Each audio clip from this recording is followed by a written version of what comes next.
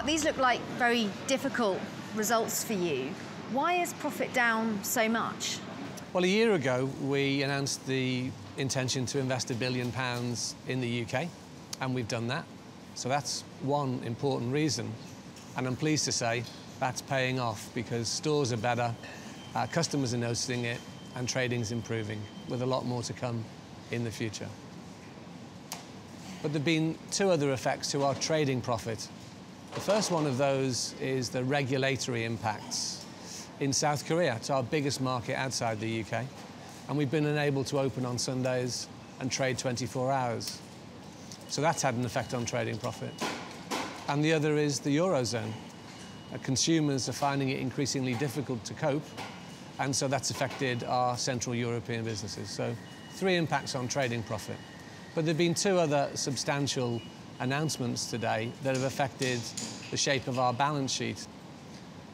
The first is a consequence of our strategic review in the USA. We're announcing today um, that we intend to exit that we expect to be able to sell the business on to another party. And we're recognising the cost of that to the balance sheet. The assets that are there, we don't think we'll be able to realise the value that we put into them. So that's a charge of around a billion. And the, um, the final impact is we said again a year ago that we were going to slow down our property. In fact, we were calling an end to the space race here in the UK. And we've looked at all of the schemes that we have in the UK, and we're pulling out of over 170 of them. And so we've announced that the value of those needs to be written down. Last year, you announced a six part plan to build a better Tesco in the UK. What progress are you making? It's good. It's really good, actually. Um, we're here today in Kensington, one of the stores that we've refreshed. And it's not just putting paint on walls. The product has changed uh, significantly for the better. The service has improved. Our colleagues have really you know, made what matters better. They have really started to focus on looking after product, looking after customers. There's a twinkle back in their eye. And our online businesses are growing very strongly, most notably our food business. So good progress. We've done three years work in one, but we've got a lot, lot more to come, and I'm, I'm very excited. Customer insight, what we've been doing is using the Clubcard data and our capabilities from dunnhumby to personalise our voucher programs for customers, and that's been a really great success. So it's very targeted, giving people discounts on the products they buy every day, rewarding them for shopping with us. It's been, it's been great.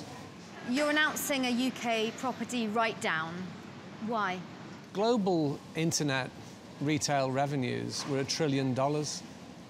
A trillion dollars. But 10 years ago, hardly anybody did any shopping on the internet. It was in its infancy. And many of these write-downs, in fact, nearly all of them, relate to properties that we bought five and 10 years ago when we thought that big stores would be the future We'll be focusing much more on building our multi-channel credentials. And customers in the future are going to want to buy what they want, when they want it, however they want it, from wherever they want. And so um, I think the winners in the future will be the retailers who focus on purely online or purely on store.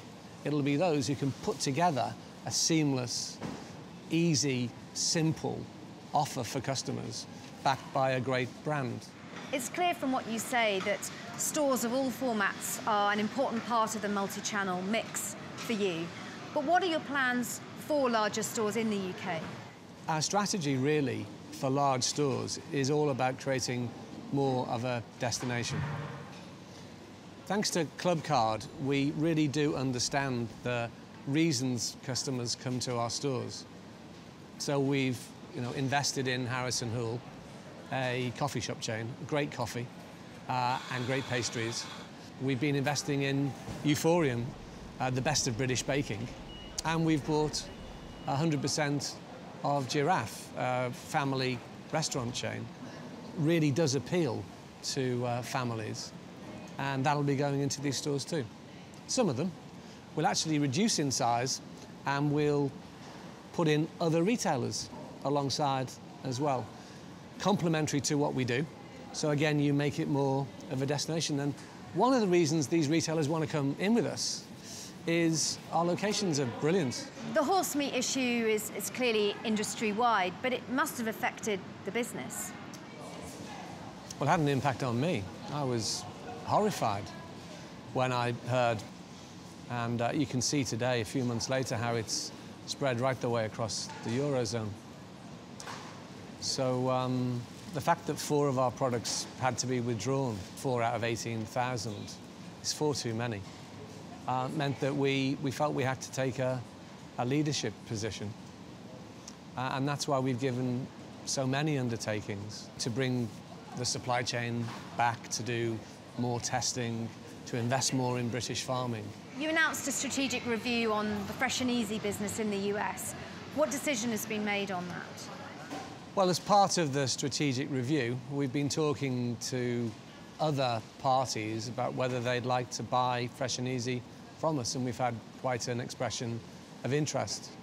And, and that's prompted the board to decide that we would like to sell. And so we're going through that process now, and when it's complete, you know, we'll let people know, you know, absolutely what the end result is.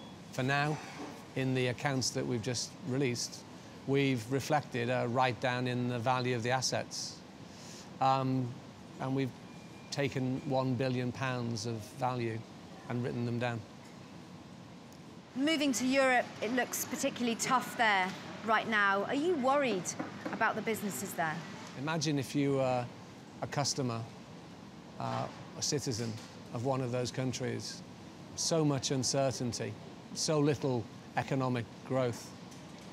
Our businesses there are a victim of that and um, our people there are doing everything they can to you know, improve performance. But it's difficult when customers are constraining their expenditure.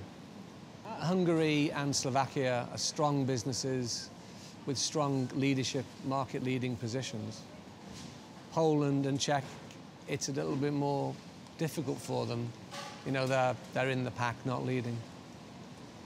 We hope that together, those four countries, can make some good progress in the years ahead. And as I'm often saying to my team, when you're in the middle of something like the Eurozone crisis, it never looks good. Course, when you get to the end, quite often it feels a lot, lot different. And we expect that to be the case. What have been the challenges and the highlights in Asia this year?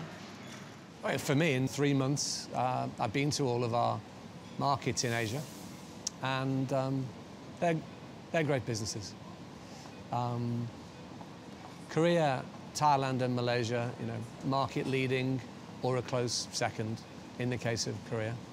And were it not for the regulatory challenges there, the trading hours restrictions, the Asia region would have driven great sales and profit growth for us. These are markets that are still fast growing, so I'm very excited about Asia. China is a little bit different. Um, hypermarkets was the format that we went in with. We spread ourselves a little bit too thin, so we're in probably too many provinces. So we've scaled back our efforts in the last year to concentrate on building out profitable, sustainable businesses. You've made absolutely clear your focus on multi-channel. Mm. What progress have you made this year on that? I'm pleased to say 3 billion of revenue online this year for the first time. Mainly in the UK, but also in Ireland, in Korea, and now in Hungary, in Poland, in Czech, in Slovakia, in Bangkok, in Kuala Lumpur, and in a few months' time in Shanghai. Brilliant. So our internet revenues up 13%. I don't know how much we'll be taking online in five years' time. I know it's going to be more than we're taking today. And we've got to prepare the company for that. General merchandising uh, continues to be a drag on retailers. Customers have got less money to spend. What's your plan for GM? Well, I've learned from some of the best retailers in the world that the way that you win is you differentiate. And simply repeating you know, the offer of five and 10 years ago isn't going to get us very far. And I think in 2012, the brutal honest truth is we did too much of going back, not enough of moving forward. And I've had the privilege to see the ranges that are coming uh, into general merchandise in the second half of the year.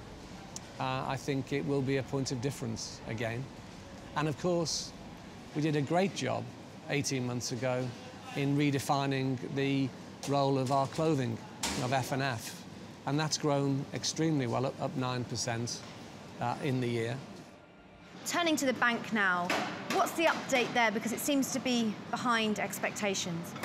Well, it's not done as well as we'd have hoped for two reasons. Um, payment protection insurance, in line with all the other banks, retail banks, got to take another provision because claims are higher than we expected. And then the insurance market's been difficult for us, and actually for most insurers. But I'm very pleased with the bank that we've built, and I'm very excited about the potential it has to be another point of difference in the UK and to help us to get the UK back to leading. So, you know, we're going to open our own current accounts in 2014. And all this builds on the launch of ISAs and mortgages. You know, we said that we would do it, we've been able to. And they're, they're progressing quite nicely as well. And how will you continue to create value for shareholders? Well, the first thing is, you know, we'll grow the company. Growth is in our DNA. It's what gets retailers out of bed in the morning, taking more money in stores, online. But shareholders also want two other things. They want return on the capital we employ, and they want a good dividend. And so we're going to create value by growing our top line, by delivering some profit improvement, by ensuring we give a dividend, and by getting a return on capital employed. That's really the answer. We invest a lot of money. Last year, £3 billion. Shareholders expect that to deliver a return, which is why we talk so much now about the importance of capital discipline, of judicious investments, and of ensuring it gets a return. That's what we're going to do. This is really all about balance, a balance between growth, dividend, and returns. And perhaps, you know, in the past we've focused a bit too much on growth, not, not enough on returns. But having said that, you know, we've created extraordinary value over 15 years because we've driven growth hard. Now we're saying, you know, for the foreseeable future, more balance to it all. That'll be good for shareholders and it'll be good discipline for the company. Every penny counts. What are you most proud of over the past year? I'm always pleased when I see innovation. And I look at all of our businesses, and they're all really focused on it now. It's that point of differentiation that comes from doing new things. I think our resilience, the resilience of my colleagues, it's been a hard couple of years as we've you know, changed the strategy, changed the management, and people have bounced back very, very well. There's more collaboration in the company now than there ever was. We are taking leadership positions. It would have been very easy, you know, with the horse meat equine DNA crisis to hide. What we did, we found out what the problem was and we came straight and said, now we know this is what we're doing. That's probably the thing I'm most proud of. In a crisis, our people really stepped up. And, um, you know, I could talk about a lot of products and a lot of people. But as the chief executive, it's much more about how the business is evolving so that it can be a winner in the future. It's already a winner. It'll be a winner in the future because of those. And lastly, what's your message to colleagues all around the world? Well, you know, you'll be reading headlines that profits have fallen substantially, and you might be worried about that. Don't be worried about it. The trading profit reduction is a consequence of investment in the UK largely, and the Eurozone dragging back Europe, and regulatory challenges in Korea. Three things that you all know about. The company is still financially strong. So whatever you read and whatever you hear, hear it from me.